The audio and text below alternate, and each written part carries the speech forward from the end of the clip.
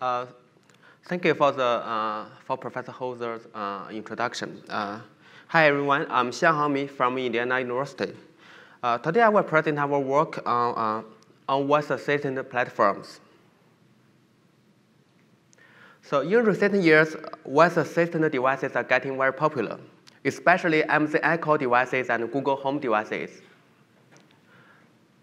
Using the devices, you can do a lot of different things, such as to play music, to control your smart home devices, um, or to send or receive money using PayPal. Actually, you can also even to access your medical information. So in our study, we aim to answer this question. Are they smart enough to be secure? And if, if the answer is yes, then this talk is over, right? So our answer is not yet. So we will introduce you how those platforms work. And we will define security requirements that need to be satisfied. And the, we also identify the security gaps that will lead to some uh, attack scenarios, including voice squatting and also voice masquerading. We'll then discuss the potential consequence, consequences of those attacks and also evaluate how feasible are those attacks. Lastly, we'll present you our different solutions, including the skills response checker and the user intention classifier. So how it works? From a high level, it works like a network router. It uh, captures users' voice command, decides the specific skill to handle. Once the response is uh, available from the skill, it will be delivered reversely to the users. So as we all know, network routing system has been proved very efficient and reliable in the past tens of years. While there are some attacks such as BGP hijacking, uh, BGP hijacking, um, mostly it's very reliable. So if you, you consider a assistant platform as a black box, it actually work, work in a similar manner. It captures the user's voice command and deliver it, forward it to the um, specific skill to handle. So basically, their, uh, their job is to release the source payload to the correct destination. So how can they achieve this goal? Usually, first, the destination should have its address, and the address should be unique. Also, the traffic should include the destination address as part of the payload.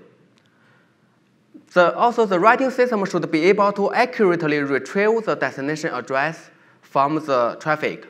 And if there are some conflicts, there should be some strategy to resolve it. So is this the case for the voice assistant platforms? Firstly, each skill actually will, will need to register an invocation name which can, which can be regarded as an address or identifier. However, Alexa actually allows skills to have same invocation names. While this is not allowed on Google's platform, skills can still have invocation names that share similar or even the same pronunciation, which will result in the same problem. Also, human uh, users are not uh, machines. They prefer to use diverse and natural language style uh, to invoke skills. Whether, whether their invocation manner can include uh, the, the invocation name accurately, it deserves further investigation. Also, as, uh, as we uh, studied, uh, AI systems were used to retrieve the invocation name from user's voice command. Specifically, the voice command will be converted from speech to text. Uh, then tech techniques will be used to, re to retrieve the invocation name. As we all know, AI systems are always complicated and they can be error prone. So this also deserves further uh, study to understand how well they can recognize the user's voice command very well. Lastly, we found that the longest prefix matching is also enforced uh, in voice assistant platforms but the, the context is different from the network routing. Um, also, the address format is different. So this strategy actually caused some extra problems. In our study, we have, captured, we have identified two attack scenarios. One is voice squatting, and we found that the platforms may fail to understand the user's intention, and therefore invoke the wrong skills for users. The other is voice masquerading. And uh, because skill switching and termination is not well supported, the attacker can actually masquerade itself as other skills or even the system. So what's the consequences of those attacks? For voice squatting, the number one is the compromise of user's data and device. Depending on different skill, the data or device can be different. It can be the bank account balance or your historical uh, transfer uh, records. It can also be the access to your home device. Also, the skill may, the attacker may be able to propagate fake or controversial information, still depending on different skill, such as uh, some fake news or some wrong, uh, wrong medical results. Besides, the attacker can actually direct users to some traditional but powerful phishing channels because they can send the user a notification uh, cards where they can uh, include some website and customer service uh, phone number and ask users to visit those website and phone number. Therefore, they will direct users to some traditional phishing uh, channels. Besides, um, because users don't know they are communicating with the wrong skills, they may have a very bad experience. Um, and they will go ahead to give very bad review for the victim skill, which will definitely hurt the reputation of the victim skill. So what's the consequences of voice masquerading? It will allow the attackers um, to masquerade itself as other skills the consequences should be, different, uh, should be the same as voice squatting. Also, it allows the attacker to masquerade, masquerade itself as the system, which allows the attacker to record user's conversations and, all, uh, and also suggest uh, um, some other malicious skill to the users. So how realistic, how realistic are those attacks? To start, we study how users invoke skills to understand where users accurately um, include the invocation name in their uh, uh, invocation was command. Besides, how well the platforms can understand, can recognize those voice command. Based on the knowledge learned from the first two steps, we compose a set of attack skills and experiment whether they will get started instead of the victim skill. We also scan the whole skill market to see is there any real-world attack cases. To start, in our, user, study, we give user two invocation names and ask them which, which is their preferred uh, invocation manners. They may select the answers we provided with them. They may also um, fill in their own answers with, with our open questions. Here table shows the top uh, invocation manners preferred by users. And we can see when invoking uh, skills, users tend to use very diverse and natural language uh, invocation manners. As, as, we uh, as aforementioned, longest prefix matching is enforced in those platforms. Um, considering users' diverse and natural language invocation manners, it will create some attack space for web squatting, which has been proved in our uh, later uh, experiment. So we then study how well the system can understand the user's voice commands. So we start to select one, uh, 100 invocation names for each platform. And uh, we then record the voice command through human subjects and uh, text-to-speech services. Um, we then play those recordings to the platforms and our help skill will capture the recognition re results from the platforms. As shown in this table, the recognition uh, error rate is actually very high. Um, while Google looks much better, but 10% uh, is still too high for, to create a bigger attack space. For example, Florida State quiz will be recognized as Florida Snake quiz. And Rent Europe will be misrecognized as Your App. So based on the knowledge learned from last two steps, we compose text skills and, experiment whether our attack skill will get invoked instead of the, uh, instead of the victim skill. So we compose skill from two channels. One is based on knowledge learned from the user, user study. We add some prefix or uh, suffixes to the invocation name. The other channel is through similar pronunciation as learned from the, uh, the previous uh, study, uh, previous evaluation. Uh, we actually uh, compose some skills, compose some invocation names that has similar pronunciation as the victim skill. One thing to note, note, we didn't publish our attack skill to the market. So in our, in our experiment, common users will not be affected. Here shows the results. So table shows how many attack skills get invoked instead of, uh, instead of the victim skill.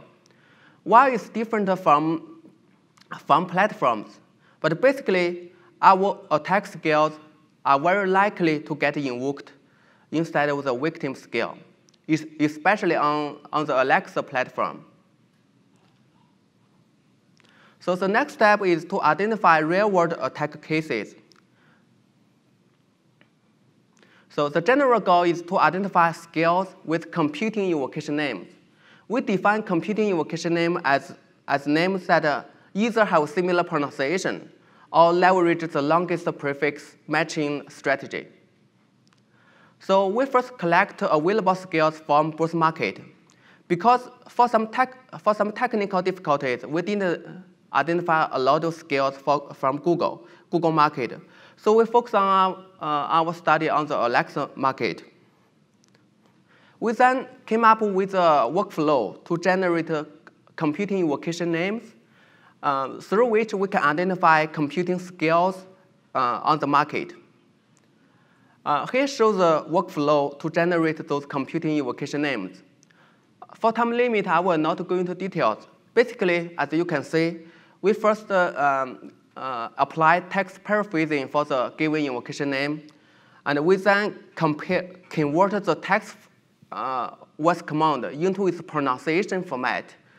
Uh, we then compare uh, the, the pronunciation similarity, which allow to us to generate the competing invocation, invocation names. Here shows the results. More than 19% skills are competing with each other because they have the same pronunciation. If we lower the bar to some, to some level, such as similar pronunciation, the percent will be even higher. Also, 2.7% of skills have same pronunciations but different, smell, uh, different uh, spelling in their text form. And another 1.8% skills actually leveraged the longest prefix matching uh, to compete with some victim skills. Here show some examples. Dog fact, dog fact is an invocation name of a very popular skill. And here, here is actually another skill named Mia dog fact. It actually competed with the dog fact, uh, dog fact skill. Also, there are other skills they registered invocation name that are not relevant to their skill content or skill function, but simply to compete with some very popular scale, such as scuba diving, uh, diving and uh, soccer jig. Their, their function is not relevant to space jig, but they register space jig as an invocation name. Uh, but space jig is uh, also the invocation name of a very, very popular skill. So our previous uh, workflow to generate a uh, competing invocation name can help us to mitigate the voice squatting attack. So here, um, in the difference part, we focus on uh, mitigate the voice, uh, voice masquerading uh, attack. Our defense includes two parts. One is user intention classifier. It will decide whether uh, the user aims to conduct a context switching or simply want to continue the, the current interaction. The other part is the skill response checker. It will um, decide whether, whether the given uh, uh, skill response is suspicious or not. Here shows the methodology of our use, user intention classifier. Still, for time limit, I will not go into details. Basically, we compare the given user's voice command to the context of current skill to decide whether they are highly relevant. If not, we consider it the user intends um, to do a context switching. Um, our skill response checker adopted a blacklist manner. And for each uh, skill response, we will compare it to the items in the blacklist. If a high similarity is, is achieved, we uh, flagged this skill response as suspicious. So to summary, two, two attack scenarios were identified in our research, voice squatting and voice masquerading. Also, both attacks were found to be very practical and also dangerous, can causing a lot of different consequences. We also explored a set of mitigation solutions, such as a, a invocation name generator, the user intention classifier, and also skill response checker. One thing to note is that both platforms have, have acknowledged our attack cases and also discussed the mitig uh, mitigation solutions through a, setting, uh, a set of meetings. Um, thank you. That's all.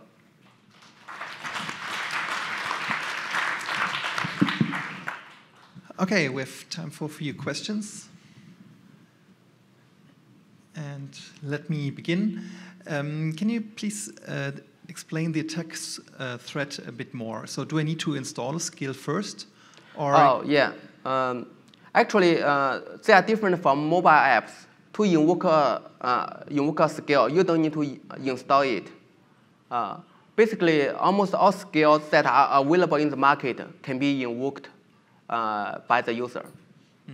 Okay, so without any user, so basically I just pronounce or I just talk to my device and then the device sends this to the market, and the market will then pick one skill that fits. Uh, yeah, uh, it will send it to the uh, voice assistant, assistant cloud. The cloud will um, uh, conduct a longest prefix matching to decide which skill uh, will be invoked. So the skill server will then uh, take over the interaction with the users. After that, all the voice command will be sent to the scale servers. Okay. Yeah. Um, and then there were quite a few differences between Google and uh, Alexa. Do you have any explanation why the differences were so high? Uh, you mean the uh, the success rate? Uh, we actually not sure. We use the same re uh, recordings. I mean, from uh, text-to-speech services and also human subjects. One thing to note is the human subjects almost all the human subjects are native speakers. So uh, I don't want to comment on why their performance is different, but uh, yeah, that's it. They just show different uh, uh recognition error rate. Yeah. Okay, thank you. Okay, thank you. Yeah, thanks. Let's thank the speaker again.